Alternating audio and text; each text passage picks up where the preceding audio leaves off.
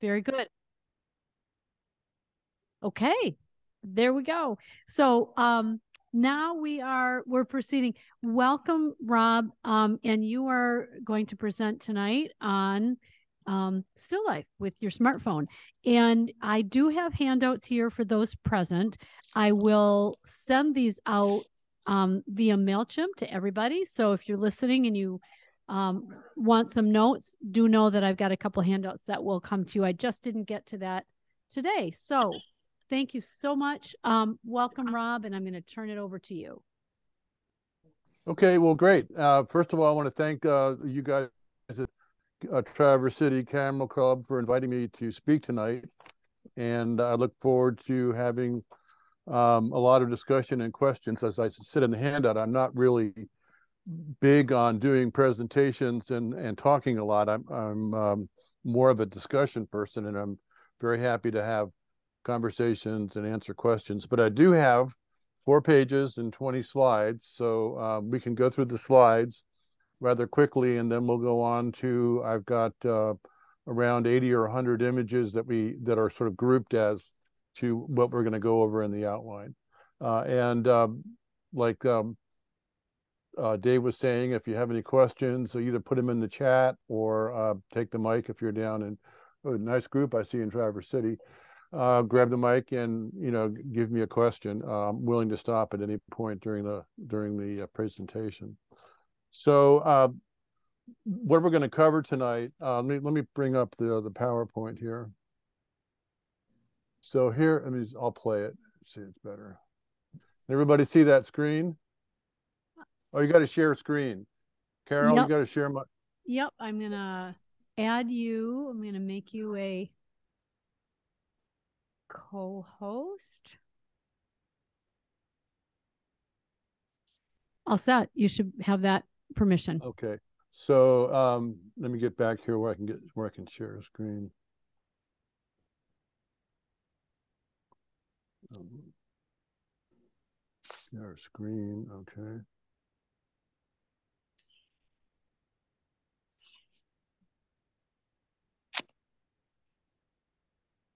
Okay, so let's see here.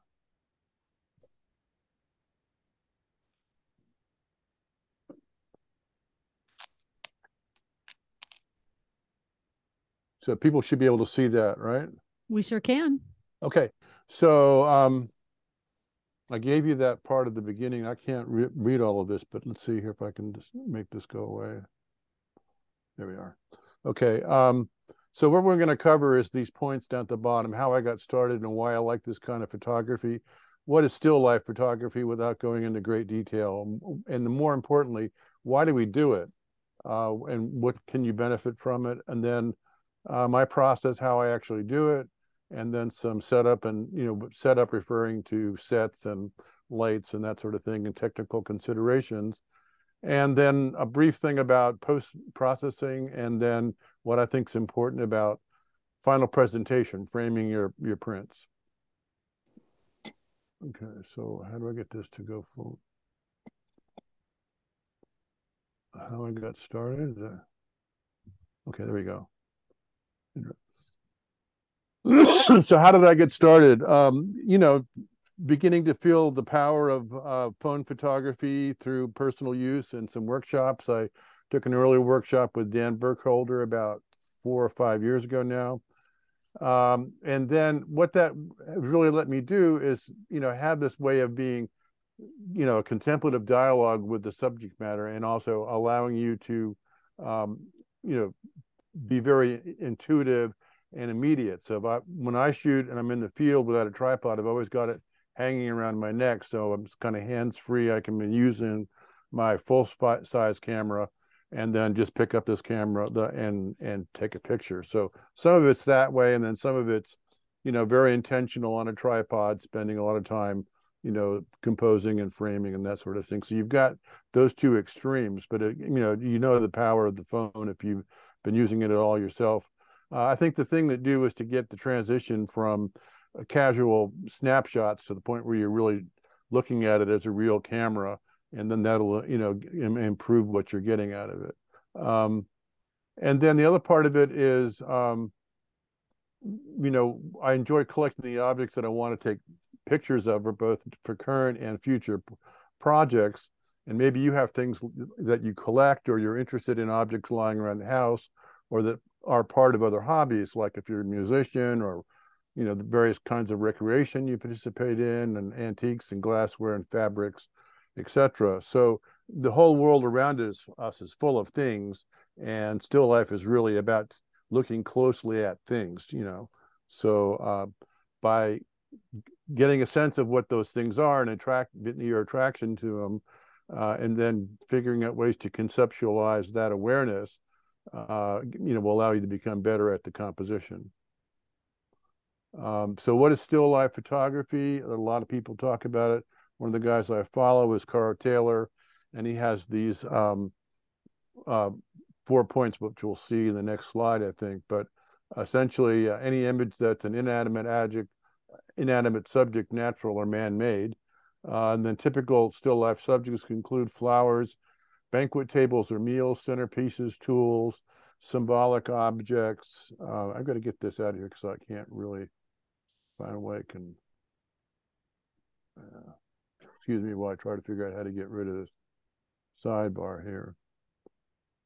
Uh,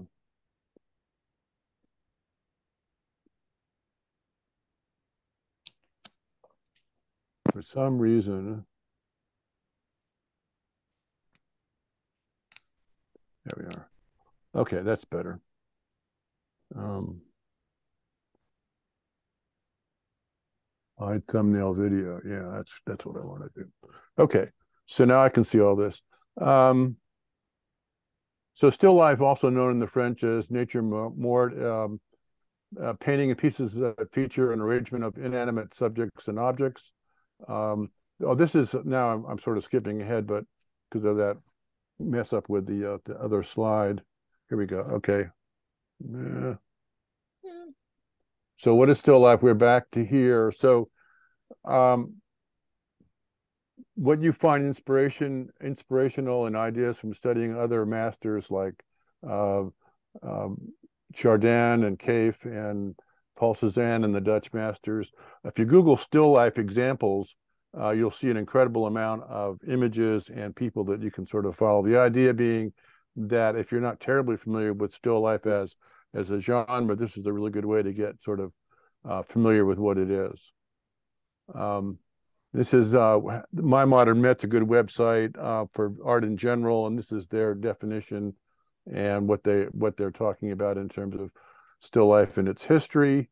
Um, and then, you know, ultimately, it's really all about good composition and lighting, as all photography really is. Uh, so there's been a lot said about photography uh, composition, uh, and then two of the most well-known Weston quotes are here.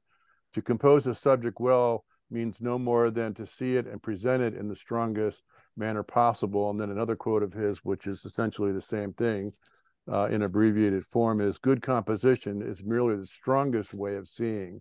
And that second one is the one that I try to remember because uh, when you're looking at stuff that's really, you know, how well you see it and how well you can present it based on what you're seeing. That whole idea of turning the ordinary into the extraordinary comes from this sort of seeing. You know, Weston's most famous, or one of his most famous series, is about the green pepper, and um, that's really all about you know spending a lot of time, four or five days, looking at a pepper and figuring out how to get a really good picture of it. Um, so why do we do still life? Uh, well, the Dutch masters used to, show off their used it to show off their skills to client, and uh, it continues today as a way of for painters and photographers to practice and grow their skills of composing and shaping scenes intentionally with light, shadow, tonality, and texture. Um, and here's some of the advantages of doing still life. Uh, you can do it in any weather. Uh, it's simple and low cost to get started. You just need your phone or a camera, a, a tabletop with a backdrop, a tripod, good window light, ideally from the north side, um, and a piece of white mat board or foam core to use as a way to bounce light back into your subject. Uh, it's natural, more intuitive, less intimidating process than setting up a professional studio. So you can have lower expectations and you're not under any kind of time constraints. It can be impromptu. Once you've had a spot set up, like let's say in the corner of a living room or a den or something where there's good light, it's easy just to get stuff and put it in there and you're set and uh, and then start taking pictures. Uh, and then the other thing is that there's no time dependent restrictions other than the natural light. If you're using natural light for your main source, uh, you can take your time, come back to it the next day or the next day. Try doing a study over time when you've got maybe some flowers where you're starting with an emerging bloom and you're photographing it till it's decayed or the the uh, the blossom falls off the stem. And then the other thing is it's available to all ages and physical ability or mobility. So as we get older and we're not, you know, really up for long, long heights or getting on our knees, um, this is a good, you know, alternative um, kind of photography. Most of what I do, I'm sitting in a chair on a piano bench um, so that I'm, you know, at eye level with the subject, the table and the subject are at eye level. Um, and then we don't have to really go into this, but if I, at some point, I would talk briefly about composition. Uh, think of the subject flowers in this case, maybe as a portrait or a dialogue with the flowers, looking closely and intimately at the subject. Um, what you do, what do you want to capture or convey? Um, uh, and still life is really the, that cliche of uh, finding the extraordinary in the ordinary. Again, this thing is blocking where I can see. Anyhow, on to the next slide. So my process, how do I do it? Um, there's a handout at the end of this this thing, this slide presentation, but it's not doesn't have this uh, step by step. But this this is also included in the handout that Carol mentioned before we started. Um, and Karl Taylor is one of these people, as I said, I follow. He's a very good English uh, professional photographer who does a great uh, educational series. So he he basically breaks down the process into four steps: develop a creative concept, of what you want to express or showcase. Then two, plan the image, maybe make a sketch, plans with color and contrast, use a color wheel for reference so you get your colors right. Um, and then lead the viewer's eye into the, uh, the picture, establish a point of view, uh, straight on or all the way vertical down from the top. So with a still life, it's really important to figure out where you're going to place the camera, like like you know all all compositions. But mostly it's about what's the elevation and the angle going to the subject. A lot of what you'll see of mine is sort of head-on portrait. My what I mean with that is that the focal plane of the camera is in the same plane as the subject, maybe slightly elevated or slightly turned to the side. But you can also do it, you know, you know, by moving the camera further up in the angle of where it's looking at the subject, and then the other one would be, you know, looking straight down. So there's a lot of food photography and some art photography where, where the subject is literally on the floor and you're and you're taking a picture from directly above. So um, all of those things go into deciding where to put the camera. So it's important that you experiment with experiment with that, and then also that you um, you know take several pictures during each shot so that you get different angles to choose from.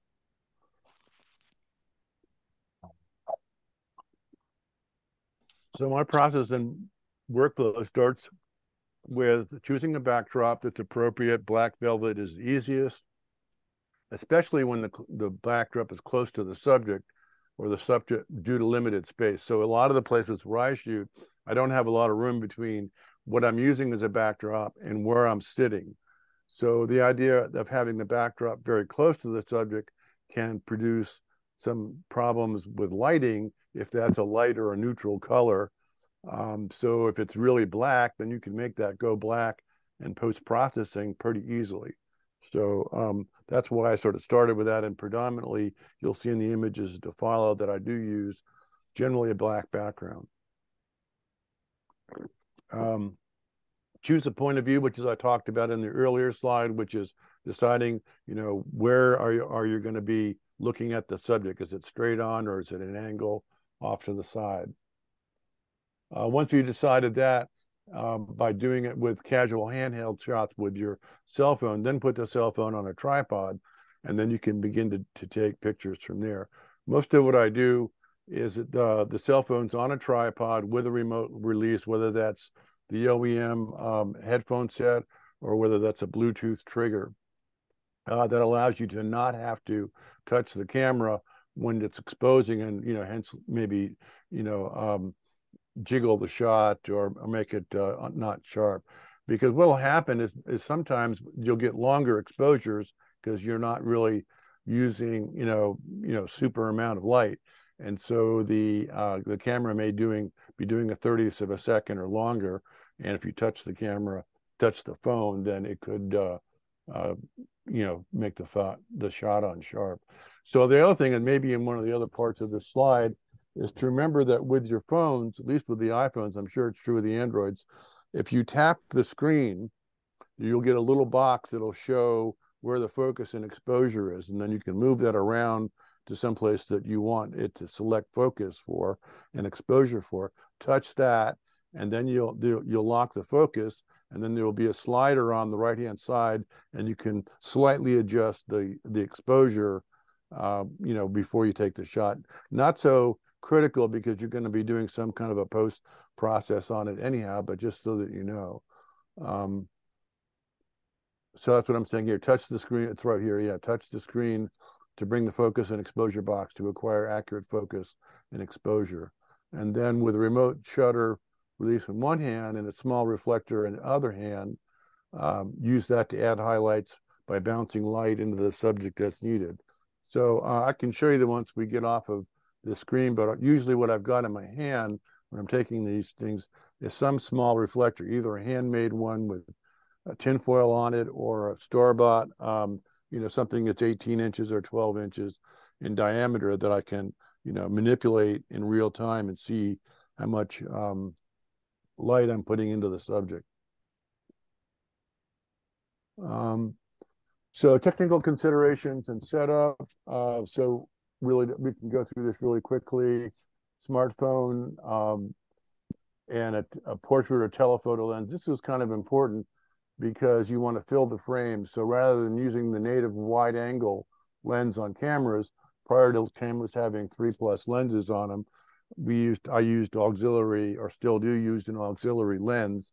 I used the moment lens, and that brings the uh, the aspect ratio down to what it's about a 35 to 50 millimeter um, lens in a um, in what we would call 35 millimeter format. A lot of us, you know, from the 35 millimeter um, background, think of lenses in terms of what's the aspect ratio or what's going to be the characteristic of the lens based on what it's going to be like on a 35 millimeter or full frame camera. So anything from like, you know, 40 to 100 is about where you want it to be, uh, essentially what would be like a portrait lens.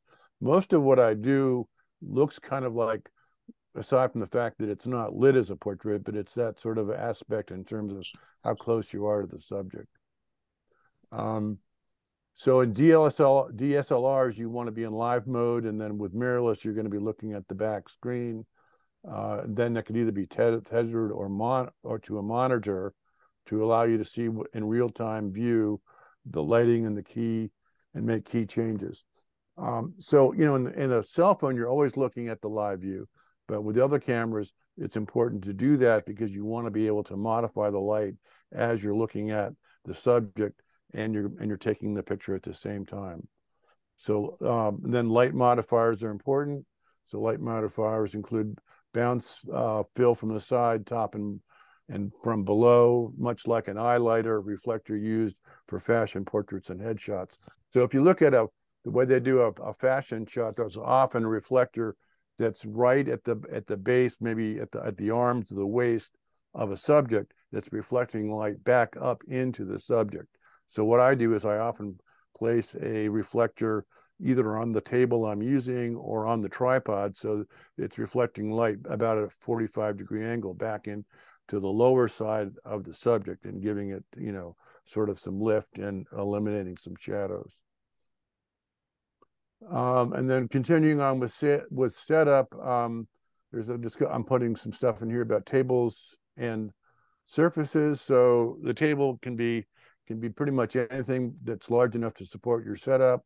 Uh, and then you want it to be, you know, table to, to countertop height, uh, depending on what's comfortable for you. And if you're sitting on a bar stool or sitting at a table, uh, it should be sturdy enough to avoid undue vibration and movement during longer exposures. But anything will work. Two chairs with a plank across them is what I've seen in some videos. Uh, collapsible pair of sawhorses uh, with a board or a piece of plywood across it, uh, a card or a folding table, your dining room table, your kitchen countertop, um, any place where you can have good light. So it's really, you know, it doesn't take a lot, but you just have to sort of think about these considerations. The other thing that you can do if you get into it is you can make a specific tabletop or a cube-like cage uh, to support assorted coverings and lighting. And then I could explain my experience later, but essentially you make a, a tube frame out of PVC or something else that's uh, that allows you to then, you know, hang lights or fabrics or bounce cards or whatever off of that rather than having a bunch of tripods or not having any tripods. And then um, uh, with backdrops, I'm throwing out the idea to, to get you to think about what you might have to hold the backdrop up. So like if you have an old slide viewing screen, you could use that as the back screen and drop a piece of fabric over that. What I used in one of the shots you'll see later is an old window screen supported on a little one by four frame. Think about an old flat screen TV or the one that's in your living room, or make a PVC frame like I'll, i can talk about later. Um, and, and then I'll show a slide of the PVC tools and supplies. And then uh, what I'm suggesting, if you get into that, that you would use three quarter inch PVC for larger frames and then half inch PVC pipe. This is PVC plumbing or irrigation pipe. Uh, half inch would be fine for smaller frames. Um, the other tip about backdrop is to keep the backdrop fabric relatively clean, especially if it's velvet, which is a, an ideal material to use. So keep around a vacuum or rolled up tape, uh, you know, masking tape or something for a lint or a lint tool. Fabric steamers are helpful. The idea, and then clean, make sure all of your glassware is as clean as you can get it. The idea here is that a clean set helps reduce post-processing cleanup and gives you time while you're doing all of this. Well, I better clean that, better clean this. Uh, to consider the details that you're that you're trying to bring out in the the image that you've planned and reflect on the arranging process because arranging is you know you know a large part of what you're trying to uh, control with your process. And then um, if you get into this you'll there'll be lots of diffusion that you'll want to do and and light modifiers things that are like you know like a piece of white foam core or mat board uh, and then for reflecting light and then for diffusing light let's say you've got a really bright day and you want to make it you know, sort of a, a, a more muted light, you could put something over the window like an old sheet or an old shower curtain. One of the tricks that I learned from videos online is you make a frame using baker's parchment, which is that paper people use for baking to keep things from sticking. You can stretch the baker's par- parchment over a frame of foam core, for instance, and then that becomes a diffuser. You can put that in front of your light source to get uh, a more diffuse light. Um, and then there's lots of commercial uh, collapsible reflectors. One of them is a five in one, which has a black, a white, um, a translucent for for diffusing, and then a, a couple of warming uh, warming reflectors, like a gold reflector. Okay, so that's that. And then for post processing, I mostly use Snapseed. I also use Retouch, which is mostly for line removal. It's really great at that in small objects and then ViewExif, which I mostly use for um, when I'm looking at iPhone pictures to review the metadata. So that's a whole different discussion. But the idea being knowing whether you've you've still got it either in RAW, whether you have it in the uh, H uh, EIC format, or whether you've converted it to JPEG. So that will make a difference in terms of you know what you're showing to uh, to uh, for show or what you're going to take back and do more editing to. And then ideally, and you can add it, you can edit on a phone and you know now with the larger screens it's it's much easier. But ideally if you're going to do any serious editing you want to do it on an ipad or a tablet uh, and then use the stylus because then you can get in and, and make a, a, small brush and, and do some fine uh, adjusting of the image. Um, and then here i'm going to cite uh, rad drew who's a great iphone photographer and dan burkholder who's sort of the father of doing uh, really good work with iPhones. And both of those uh, have great workflows And in the handout, uh, there's a there's a link to both of their websites and some of their videos. Um, and then in the reference sides, I will be showing um, uh, some uh, places to follow on YouTube and social media. That's it. But that so there's there are two um, two uh, body texts in one of the handouts. It's got people to go to for class and people to go to for online uh, video stuff. The other thing about about online um, looking at various things for um, still life photography and flower photography is there's just a wealth of stuff on YouTube and also on Facebook. I follow a number of Facebook groups that do still life, and so it's it's inspirational to see what these people are doing. Uh, so then the final presentation, use a good quality print. I prefer matte or pearl finish as a, for the saturation and the non-glare viewing. Um, uh, there's a few frames that I'll be in my uh, picture show that show the way I frame it. Uh, but I essentially use a traditional gallery style simple black frame with a neutral or warm white thick mat, like a six or eight ply mat with wide, generous margins. Um, also, you might consider size. So with a small sensor, 12 megapixel, um, we might want to uh, have smaller prints that are best. Um, I like the idea of holding a framed print at arm's length, about the same distance as an original shot, as originally shot. So think in terms of life size. Think in terms of life-size images or slightly smaller, so you can put it in a frame that somebody can hold that at arm's length. Um, it's important to use, I, I think it's important to use non-glare UV resistant acrylic glazing. It's lightweight and more economical than museum glass. And then uh, the only downside is that it uh, takes a little bit more uh, cleaning. You should use a special cleaner, no Windex or any kind of you know uh, solvent cleaners. Um, I've had very good results using American Frame and their assemble at home system, where you just buy the frame, the mat, and the glazing, and you'll put it all together once you get it back to the house. Um, another alternative for avoiding the, the issue of, of, window glass is to use a canvas uh, or a metal print, uh, which wouldn't require any glazing, and that would be alternative to putting it in a, a traditional frame. Um, and then I, I, would suggest people, you know, consider some form of do-it-yourself framing if you're not already. Uh, online ready-to-assemble systems um, are, are, great for using frames by using a tinge, uh, a T-hinge mounting uh, method for your prints. Um, so then this this is uh, I'll go through these slides, which there's not many, and then uh, we'll go back to we'll go to the to the album of pictures. So this is one of my setups in the front room of our house. Uh, it's a north light window. It's just on an end table.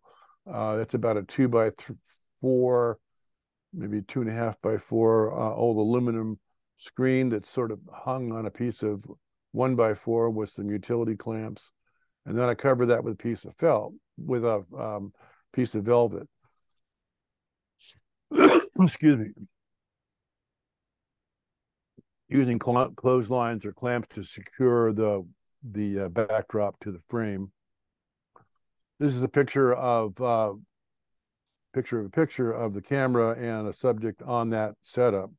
So you can see how you know I'm only using you know a small portion of the setup to um, to get the picture. What's reflected in the face of the camera is what's behind me on the piano top, and I'm sitting on a piano bench. Um, this is uh, the uh, the camera adapter I used the tripod and one of the Bluetooths I used. It's uh, MeFOTO, uh, which is there's several of them. I like this one because of the various um, options that it has. It's got a quarter inch and three eight threaded holes in the bottom, and then quarter inch holes in the top. So it's a lot of different versatility with um, how you can mount the um, the camera in the in the in the rig, and then the CamKix uh, Bluetooth. There's several of those. Uh, you get in a pack. I get like get them three in a pack, and so there's always one lying around. It's got a wrist strap, so you don't lose it when you're out in the field. so this is this shows a little bit more of what else is going on. There's a piece of foam core on the right-hand side, which is reflecting window light back into the subject. And then I've got an LED light up at the top, uh, right coming down on an angle to put a highlight in the um, in the subject. Um, you can do it. I'm, I'm doing this with my mirrorless, but you can obviously do it with a smartphone. You know, uh, I, in fact, the picture that's a smart. No, that's not. This is a smartphone picture, and this is what you see from this to this, um, and that's uh, just getting close with the uh, with the uh, iPhone. Okay, so this is the online resources I talked about, uh, YouTube channels for people to follow. Um, uh, John Gian- Don Giannatti is really good on doing um, various photos. He's also got a creative light class. Phil McCordall is a semi-retired English uh, studio photographer and food photographer. Uh, he does really good um, videos. The slanted lens is also the same thing. They've got a great series on the laws of light and uh, all aspects of photographic basics and advanced. Um, and particularly for people who are looking to make money, he's got a whole course on uh, good ways to start making money at photography. Uh, and then this is the instruction uh, sheet on this. So Dan Burkholder is great. Uh, Rad Drew's also good. Charles Needle will be coming to see you. You could ask him about his classes um, on iPhone photography. And then Ahmed Mersman is somebody I just met this this last winter. He teaches in Midland, um, and he spoke at Crooked Tree. That um, that that lecture was a coffee at 10 is recorded and on the i think it's up by now on the crooked tree website and then of course tony northrup um, the reason i mentioned mersman is because he's not only a an artist a really good graphic artist as well but he's done a lot of hybrid work where he's doing some of his his drawings and then including them in photography and he, he does a lot of work with iphone and then uh, thanks for listening and happy holidays. If you have any further questions, please feel free to contact me. Here's my information. And then some miscellaneous all non information. Uh, this is an interesting piece on Edward Weston's uh, Pepper series um, that was in the wiki uh, entry. And then the, below that is what was on the uh, Traverse City um, Camera Club's Facebook page uh, by one of your members recently, and this is a pretty easy, simple, quick how to still do still life. Sorry about the TCA. I, I thought it was Traverse City area, so um, I, I, you know, I, I, apologize for that typo. But so that's the um, that's the show, and uh, let me get out of here.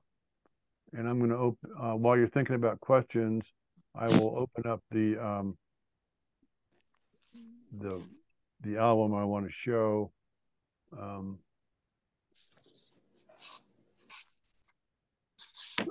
so, is there any questions at this point? Yep, we've got one. Yeah, we have up. one. We have one coming up. Okay.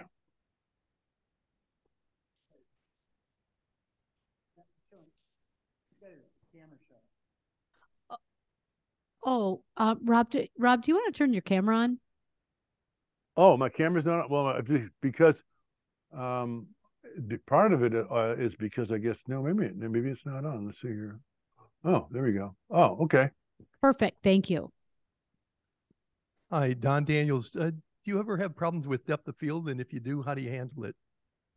I don't really worry about it. Um, the thing the the thing about the the the phone cameras is they they do a pretty good job you know, of, of handling that because the lenses are wide, right? So even even with you know the the telephoto, the 58 millimeter moment lens on it, you know, you're still, you know, if you're if you're at if if it starts at a native 26, you're at a 50 something. So and most of the stuff I'm doing, you know, you'll see a fall off. In fact, I'll even use um, when I'm using Snapseed, I'll sometimes do a lens blur. But most of the stuff is in plane, and um, it's not something that I, you know, really worry about. I do when I do the when I do the um, the full frame stuff. uh, in mirrorless or or in um, you know D, DSLR, you know, I'll, I'll, pay attention to that and I'll do a high a high f stop or I'll do uh, focus stacking. But most of the virtually everything you're going to see here, you saw in those images, uh, is that this is, is all iPhone. I have I have a question. I have a yeah. question, Rob. This is uh, Ragnar. Oh hi. Um, hey, so you talked about Snapseed. Do you choose that over Lightroom and Photoshop for what reason? Is it just from ease or what? Yes, it's it's because it's easy, and and I got started doing it before Lightroom was available for the phone. So um, all of the stuff I do, I mean, the, the the problem is then it becomes, you know, you have to then import all that stuff into um, into Lightroom if you're going to do anything more with it. So or Photoshop. So if I'm going to take an image and then make it into something where I want to make exact size or I want to clean it up better, then I'll, you know, I'll import it into Lightroom and then, you know, clean it up in Photoshop or size it in Photoshop. One of the things I've done with uh, these smaller um, 8 by 12s is I'm leaving like a 3 eighths or a 5 16ths white paper border all around the image. And to do that, I need to give the printer, you know, an exact image size. So, you know, I'll put that into Photoshop and and give them precise measurements to to print. But in general, it's just because it's so much easier. I mean, you can literally sit in your easy chair with a stylus or your finger, you know, and do, you know, amazing work um, in Snapseed. So that's that's the reason. Okay, thank uh, and you. And then some people people don't uh, some people don't have Lightroom, you know, or they've been intimidated by it. So the idea that this is an accessible way for people to do some fairly serious editing of an image that they've that they've uh, produced on their phone. So, thank you. Anybody else Anybody have a question? Yes, yes. Um, and there's one uh, question in the chat, Rob. Are you using yeah. the RAW setting on your iPhone? No, I'm using um, I'm using the HCIC H HEIC on the phone at highest quality. Okay. It's what what I I got started doing that before they had RAW for the phone, so it um it seems to work. I don't even know that I don't know that Snapseed even works on RAW. It may, you know, but yeah. there's enough there's enough latitude in uh, the high efficiency um, file to do a, a lot of work uh, without a lot of noise. So that's that's kind of what it what I do. Very good. Thank you. Any other questions here? Okay. Why don't you okay. go ahead? Okay. So people see that? Mm-hmm. Okay. So this is one of the ones that um, sort of get got me started thinking about you know the potential of what you can do.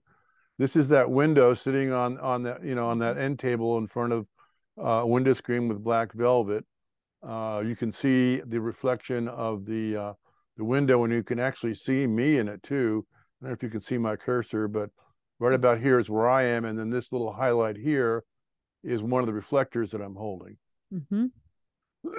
so the issue with with this kind of stuff is that if you were going to do this as a professional product shot, you know, people would say this is terrible because you've got all of these, you know, highlights and spectral things that are in in this uh, image, and you're losing all of this glazing down here. So you're making the decision to say, well, do I want to make this a professional product shot, or do I want to make this arty? And part of it is, for me, I know where I was when I took this picture because there's the living room window. So you need to sort of think about what's art and what's commercial when you do these. Um, and then this one is an example of where it was when it came when I took it into Snapseed.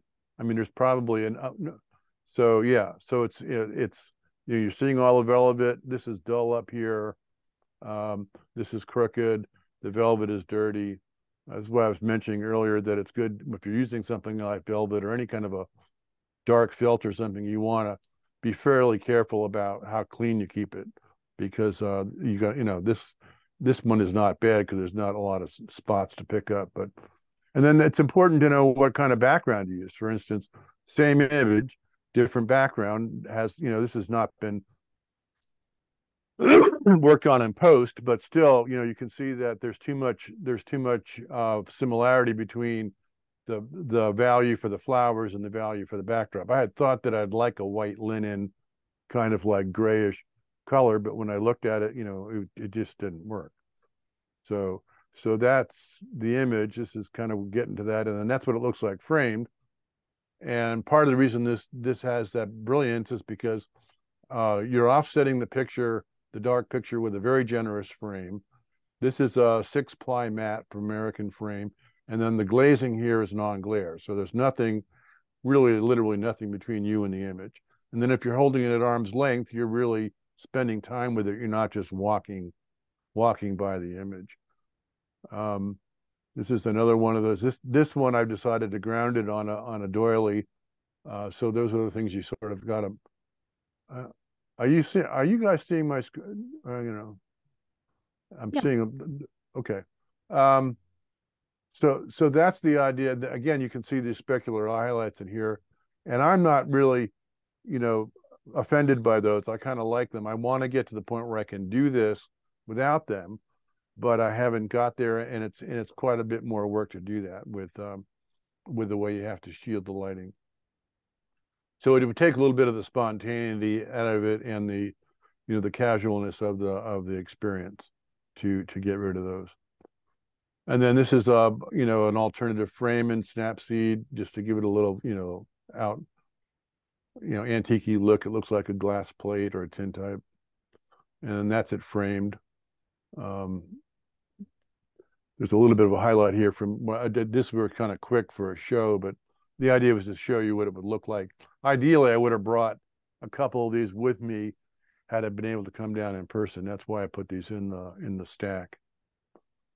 Uh, then this is you know again using the uh, the black background and then um, leaving. I decided I wanted the lines in this shot, but you can in post processing you can get all of this to look as black as the background is isn't here. Pretty easy too. It's, it's literally with a swipe of a finger. Um, this one sort of floats. Uh, this one would. The other thing is that I haven't done it with these, but because this is on a back background, people who do a lot of post processing know that I could easily just take this thing and put it anywhere as I wanted. I could put this in a composite or something like that. But part of it is I also like the idea of floating it for the abstract feeling. Uh, then this is this is a setup on a countertop, just hanging a black piece of uh, fabric over the uh, upper cabinets, um, and then you know elevating the subject to where I could be uh, taken with, um, you know, closer to what I wanted to see.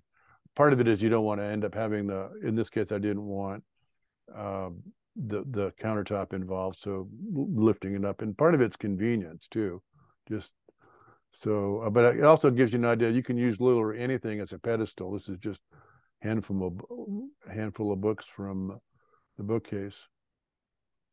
Uh, and this is outside. So just having some kind of a backdrop that you can stand up. This is um, neutral gray ba background material on um, piece of foam core taped to a piece of foam core that's just stood up against uh, uh, probably a deck chair or something uh, so we can get a, a, picture of that flower. And then this is what that flower would look like with a little bit of Snapseed. Um, that might have even been a handheld. I don't know. But, um, you know, just sort of getting the idea, well, I want to make sure I can get this picture without the back of the house or the cat or something else coming across the frame. So, um, the same thing, that, so along the same lines, this is a night blooming uh, cereus that uh, you know you have to do at night. This is the overhead lights from the porch that's lighting the uh, the setup. But what's really going on is I'm taking a picture with this light down here, and I'm uh, I'm using the ambient of the overhead, and then this is that reflector I was talking about, which is bouncing light back up into the flower from the overhead and from this little guy down here. Uh, and then this this is just to bounce a little bit of, of light into that side over here um, eh, to give it to lighten up some of the shadows. And that's what it looks like when you're uh, when you um, see what the camera is seeing.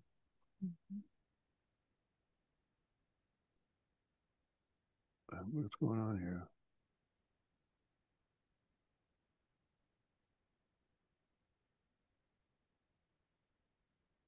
This, maybe this is some of this is out of order.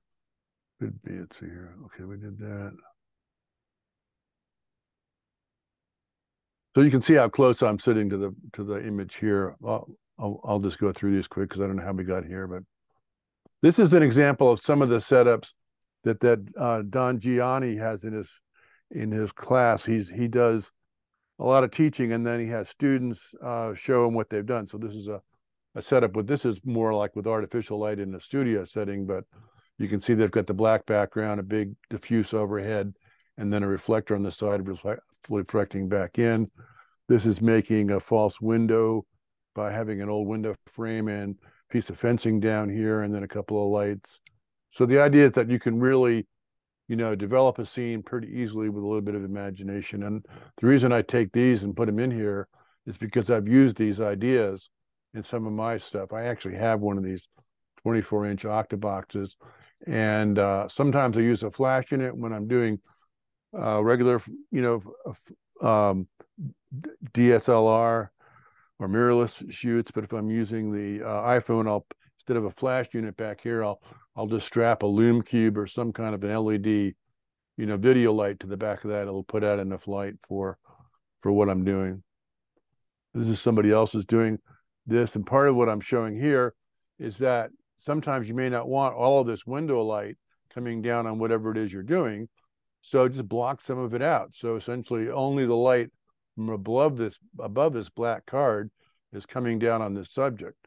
You know, so you can get a nice sort of slanted look rather than being blasted by this this huge thing. So if you've got a big, you know, patio door or big picture window, you don't want all the light, put some other kind of a diffuser up and then lay some boards across it, either, you know, uh, big panels. You can use like full size insulation they use for uh, house building. You know, that comes in four by eight sheets. So think about how big that is and then how you could cover that. You could put black paper on it. You could spray paint it black. Uh, there's lots of ways that you could control that light. Excuse me. This is one of my setups. It's actually where I am right now. So I'm sitting here by the window. This is the north window light. This is a, a shot that I'm setting up. And this is that frame I was talking about. So this is the, excuse me, plywood table with three quarter inch PVC on four corners that's got a, a, a, square of PVC on the top. This is seamless paper behind here. Uh, and I'm using this light from the window. This is this whole scene is literally lit just with that window.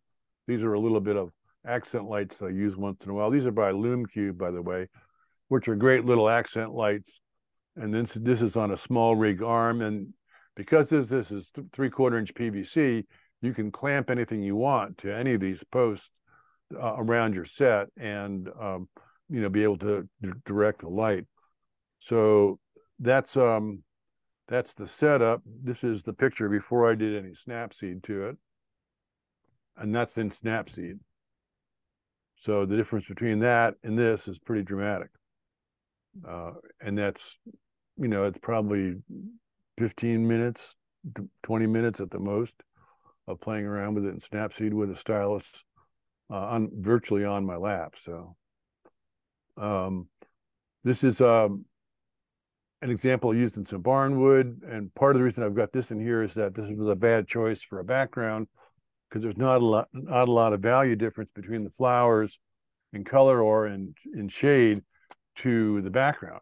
So I could fix it a little bit, and I did. And this is what you get in um, in after Snapseed. So that's before Snapseed, after Snapseed. Uh, th- this is um, some of the inspiration I get for still life, and this is uh, I mentioned earlier about going to the internet for inspiration.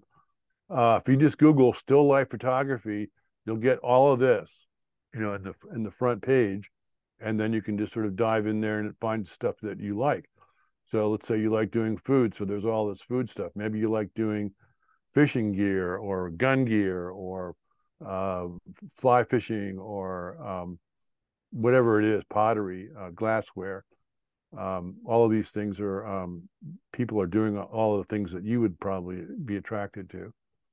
Um, this is an example of a, sort of classic imitation of a Enceladums. This might even be the Enceladums. I can't remember now, but um, it, this to show that it's this is kind of an antique look that people have been doing this for a very long time uh, in photography.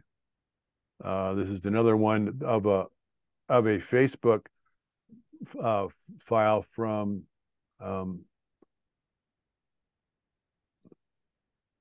from a, a, still life. I can't. I still can't see the top of this these frames because of the way the zoom folder is set up. I don't know how to hide that, but anyhow, so it's one of these. I think. Oh, here's still still life by flashlight. So there's a whole group of people who do, you know, starting with a dark slide, you know, in the dark, and then lighting it with a flashlight to get this. So this is something I haven't really got to do yet, but um, there's actually a new program uh, that's available for the phone. It's been around for a couple years. I think it's called Slow Shutter, and it essentially lets you build an image from a dark screen by adding light in in real time. So Olympus had a program for their um, crop sensor cameras for a long time that would let you do that, and it's still available. And then this is a new system for doing it. But anyway, the idea is that you get these wonderful sort of like warm uh, highlights in the image. But even so, if this was just done as a regular still life, a lot of it's like old cameras. So it's a it's a great way to sort of think about, well, maybe I've got one or can borrow one from a friend or whatever and begin to compose something like this. I like tools, so eventually I'm going to start doing some of this stuff. I don't have all the chisels, but I've got a lot of old planes. so that's a winter project for me. But the, I mean, I, will occasionally look at these and go, "Well, I like the way it's lit," or "I like the arrangement," and uh, it's good inspiration. Just a few more of these from the internet. So maybe you play cards, or you've got an old fedora you want to do something with. These are ideas for how that could happen. Um, if you've got some old uh, tin pots, or I've started collecting those oil cans. I want to do something with those. Uh, love the tones in this. Same thing with this. And then this is going back to, you know, a, a, painter. This was an online thing of a painter doing a live show of this is what was on the table, this was his palette, and this is what he was painting. But the idea being that, you know, you can sort of look at this and see the arrangement, you can see the colors and the tones and the lighting and decide, well, you know, I've got some gourds or I've got some apples. I want to do this on a rainy day or a cold, snowy day. Um, and if you if it's hard for you to conceptualize what this looks like, there's no shame in going to and borrowing somebody else's ideas for this stuff. A lot of that, you know, has happened through art and photography over the years. Anyhow, what was that thing? Uh, something about the most sincerest form of flattery is it's not copying, but it's imitation. Imitation is the one of the most sincere forms of flattery, or something like that. Um, so a couple more of these. This is oh this so there there's a Facebook page just called Still Life, so that, you know you can go there and look at what they're doing there. Um, and this was a you know some flowers for a birthday, so you know, put them on that table by the by the front window and started taking pictures of that. Uh, same you know it's front light, side light from the window, side light from a bounce card, and a little bit of fill light from the front with a reflector and maybe a highlighted LED. Um, and then I, I, made a black and white of that, a little bit of tone according to this image, but it's more neutral in the original image. Um, again, more more of these. Uh, you know, trying different vases, different colors. Um, you know, the reason I got the blue is it goes with the yellow. The reason I know that is because I've got a color wheel. Uh, I don't know whether I've got it around here, but um, oh, here it is. So it'll be there'll be a slide of it coming up but the idea is to have a color wheel, you know. So, um, it, uh, but one time I didn't have a lot of confidence in what color tie I should wear.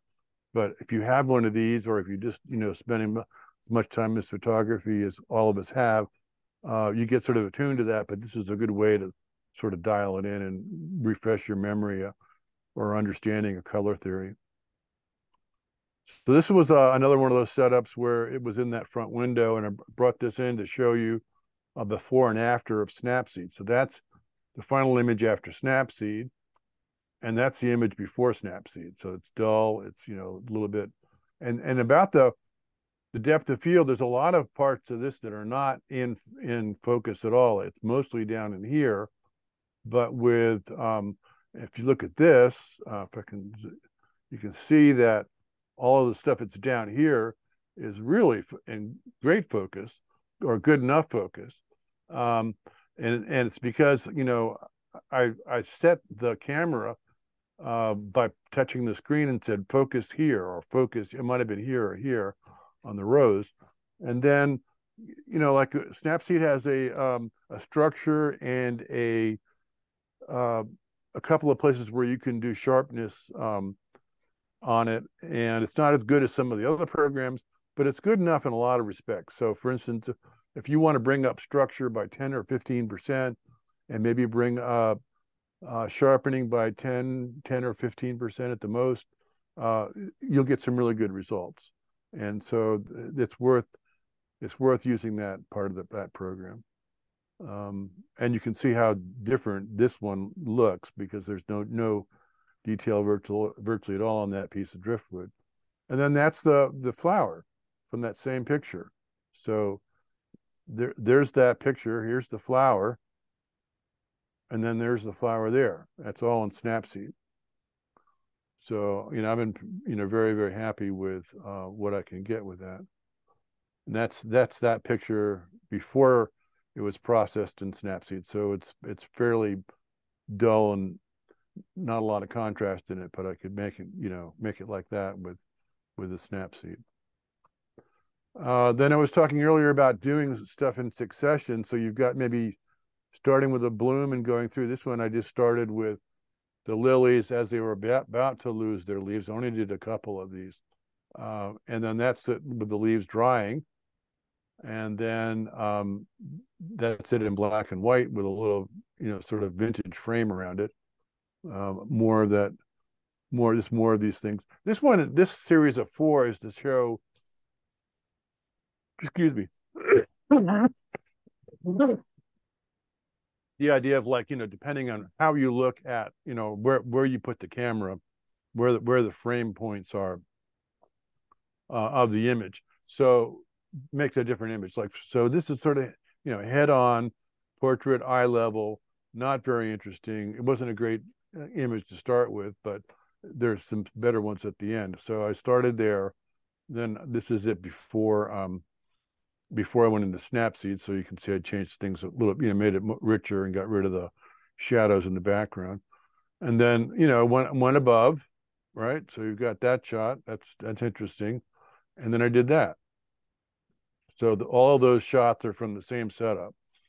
So it's a question of you know what what's gonna what's gonna be interesting here, and uh, you know the last one to me is the one that I that I like the best.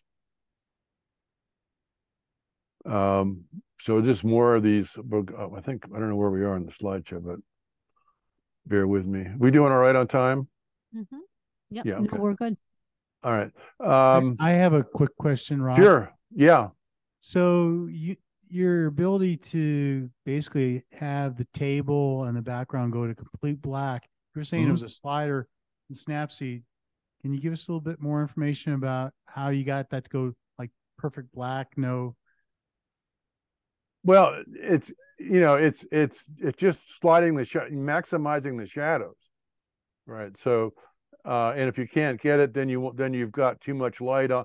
Part of it is you want to make sure that you're almost like for this is a good example. So most of that is black already, right? And it's only down here where these highlights are. So for instance, I would take the shadows down as far as I could without, you know, messing up the shadows in the subject. And I might just do it with a brush. So in Snapseed, there's a brush tool. And in there you can do, there's four different things you can do. One is saturation, one is EV, and one is burn and dodge. If you do the EV one, which is exposure value, I think it's three stops maybe or something like that. I put that at you know at maybe minus three, uh, 0.3 or so, or minus seven. I think maybe it's just one stop. Because yeah, it's like it's like zero, three, seven, and then one. I think so. Maybe it's only one full stop. So, so anyhow, the point being is that you can then take a brush and get all of the stuff here to go black. Um, and I haven't had trouble with doing that.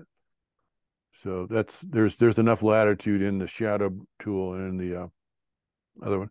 So you know, at some point we could do a whole thing on Snapseed, but the the simple answer to Sap, Snapseed is you go into the first uh, the first section, which is has like about six or seven different parameters. I think it's adjust image or whatever. And if you crank down the highlights all the way, see what that does without dulling things.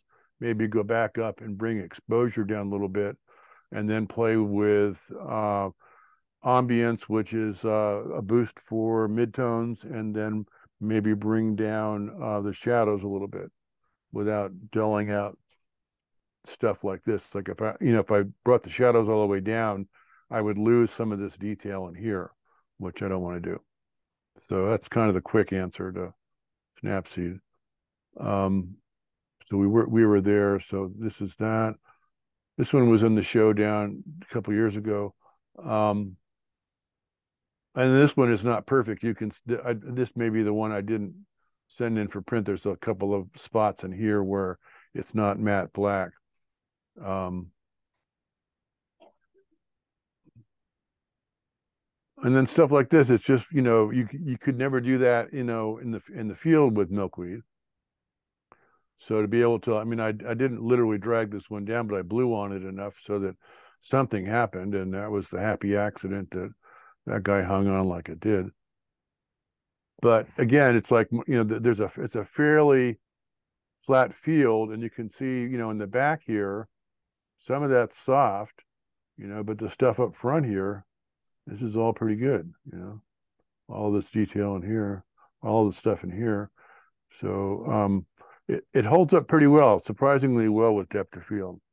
I think it's because it's such a small sensor. Uh, and this is the idea of like, you know, if you've got stuff around the house, get it before it blooms, right?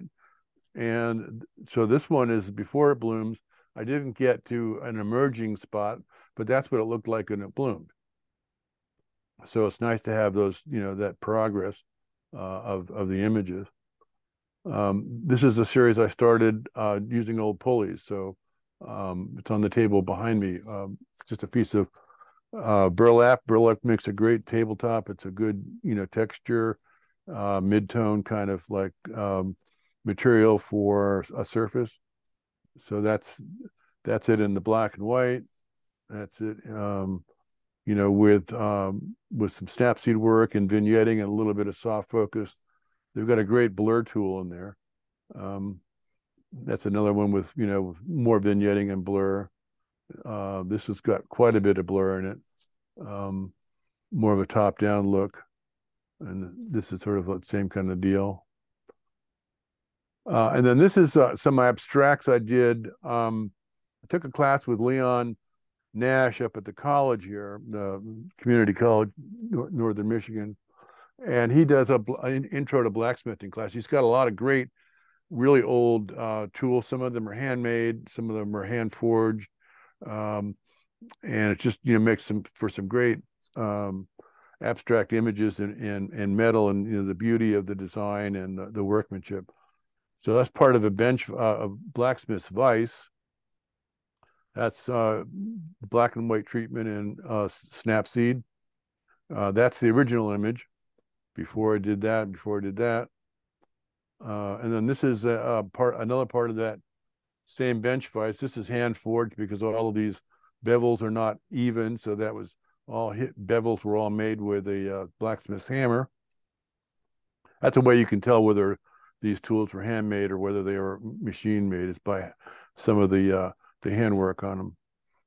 And then that's it with um, my rendering in Snapseed. So to go from that to this, you know, in maybe 20 minutes, you know, that's fairly dramatic. You know, I'm pretty happy with this one. Uh, same thing. This, this is he has a whole sort of closet full of all these tools accumulated from estate sales and auctions and stuff like that. This is a whole I don't even know what these crank things are. Uh, the other ones are clearly vices, but what the crank things are, I don't know. So, you know, look at a box of those things and say, what's the strong part of that that I want? And that's what I got was this. Uh, again, Snapseed and um, handheld with an iPhone. So um, it's you know just an example of you know if you're if you're looking for something, um, you know what you can find. Okay, so some of the the nuts and bolts of this. This is the moment lens uh, for iPhone, for anybody's phone, for uh, for Android too. Now they've got the three cameras on on the newer phones. It's not so much three lenses on the newer phones. It's not so much an issue. Um, but these are really nice glass. It's uh, it's you know, it's all glass. It's all aluminum, uh, aircraft quality frame. So it's really nicely made stuff, and it gives you really great rendering. So you know, if you can take your 2x tele on the new phones and make it a 4x essentially with this. Um, and the idea with a lot of this, you know, and, and, most of those things were the ones that were set up on the tripods were taken with this, but most of the ones that are not are not. Uh, it's a single lens on a iPhone 10R.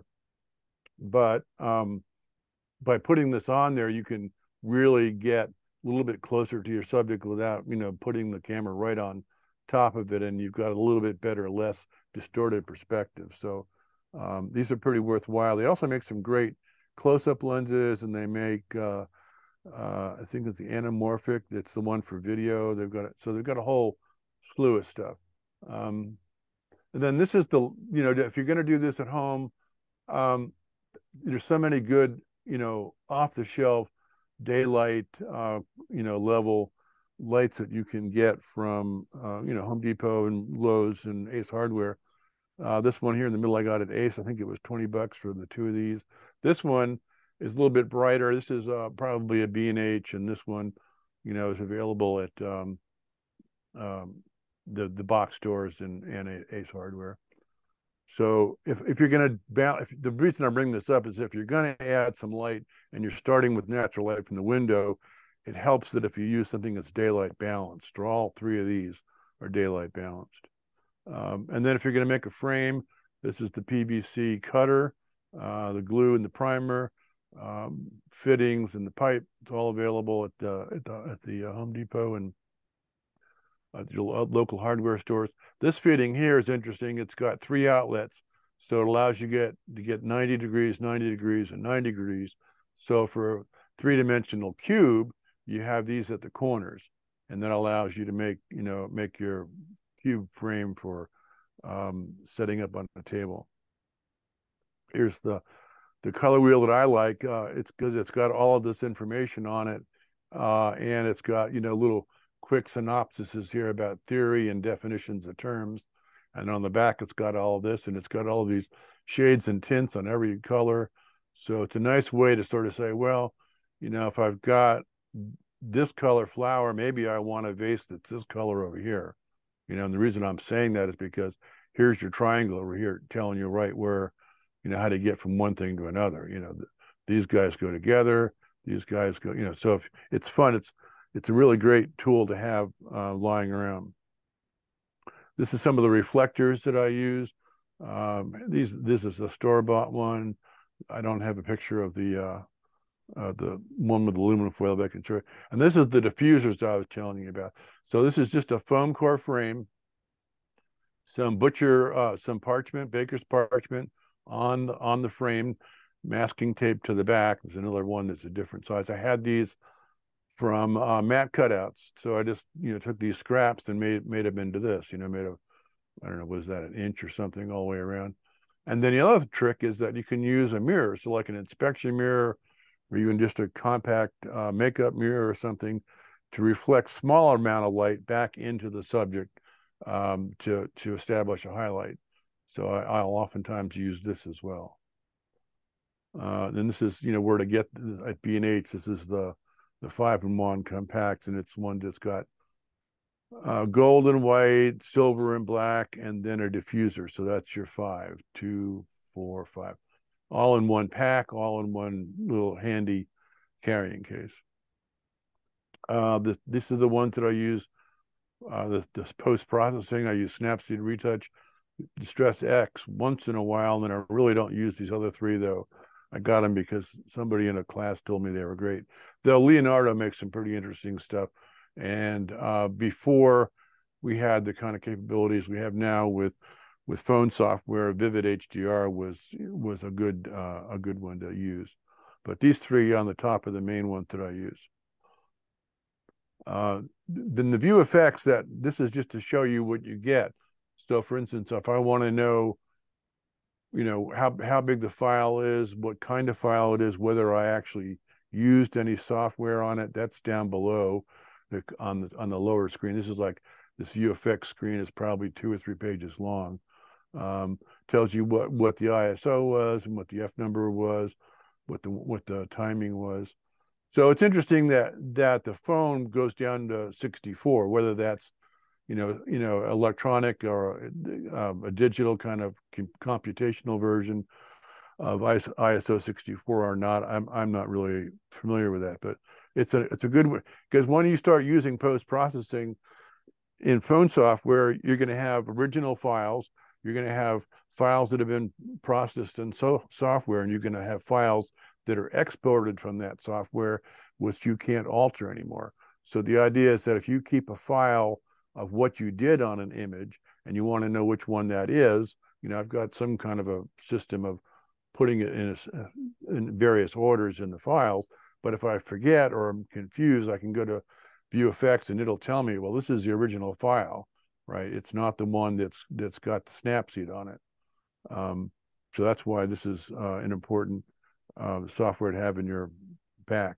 And then this is that um, one that I forget it's Steve, I guess, posted this on your Facebook page a week ago, or yeah, a couple weeks ago. Um, yeah, two weeks ago.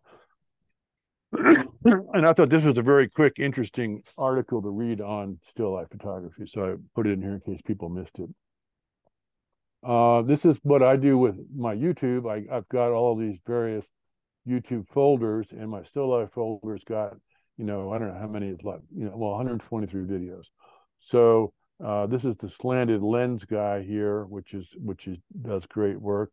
Um, and uh, this one is a woman who does food photography. Um, so there's a lot of different ways to gain experience and get some inspiration for doing this work. Uh, this is what that looks like if you went to the to Lowe's to buy these things.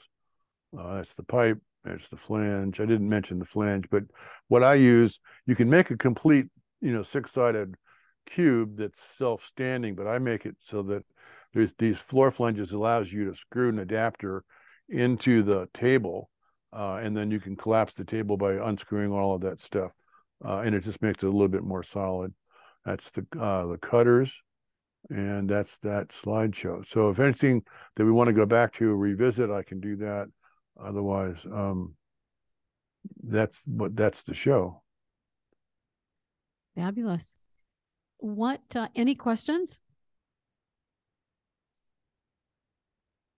I don't see any in the chat. Okay.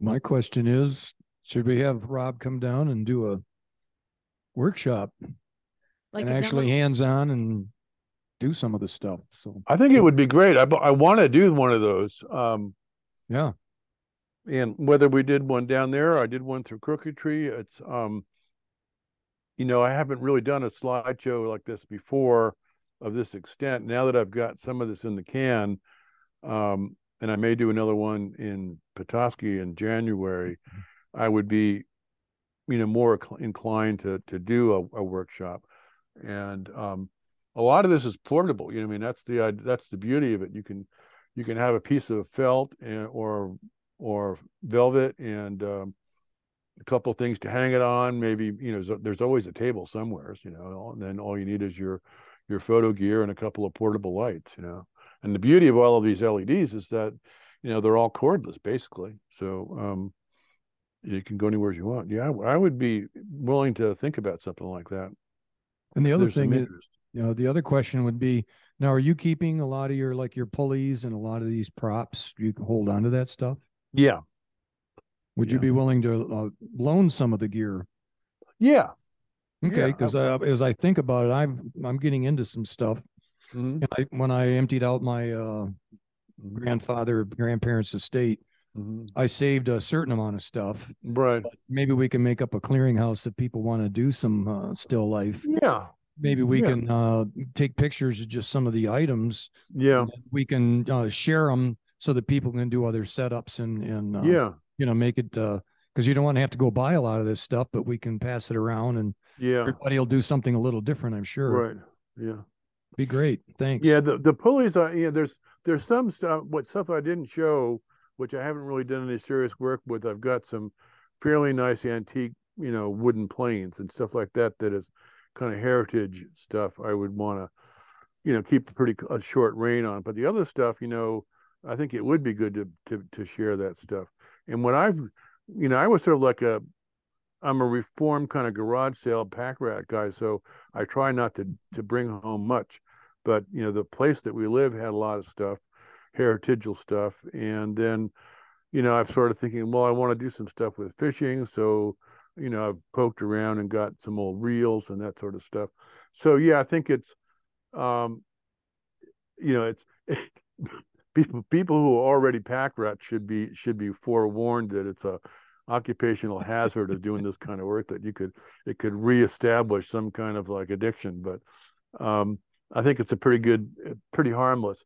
And i think that uh there certainly is a lot of opportunity up here with you know, with old barns and uh and collections and stuff. What really attracted me to the collection that um the blacksmith instructor neil nash has is that he has you know collected with an intention he he's trying to develop a blacksmith curriculum at uh, maybe not blacksmith, but certainly forging curriculum at at Nukmuk, Northern Michigan, you know, Community College, and so he wanted to have setups for you know upwards of ten or twelve students. So he's developed six forges, and he's got you know probably ten blacksmith vices and you know boxes of stuff in that back room and tongs and all that kind of stuff. A lot of that he's collected from you know, various guys going out of business or heritage sales or whatever. And then he goes to all of these antiquarian things. So he, I ran into him this year at the Flywheelers uh, down in Boyne Falls. I hadn't been since before COVID, and I went down one afternoon to poke around, and you know, ran into him on the way in, and he was walking out with a sack full of stuff. So uh, there is there is that kind of collector around if people are interested in you know old stuff that that we could um you know photograph. I've already got you know him on a tentative arrangement to go up and take pictures of the gear he's already got up there uh, at the college but we haven't set any dates and i'm thinking it'll probably be you know in maybe early spring before it's you know too crowded up there and uh, it's too cold. All that stuff is in unheated unheated spaces right now but yeah i mean i think the communal thing would be a good idea. And then also people wanted to uh, talk about specific stuff. People wanted to do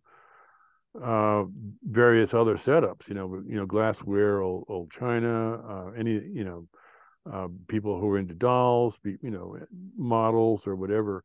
I mean, it's really endless when you start thinking about what what you can do on a tabletop and and looking at stuff closely and making it interesting by lighting it. So yeah, sure. Very good. Well, something that we could plan. All set? We're All set. All right. We're um we're done with questions.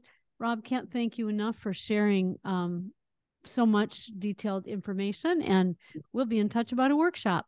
Yeah, that'd be great. Thanks so much for having me. It's been really All fun. right. Thanks everybody. Thank you, Rob. Mhm. Okay. Good night. Night.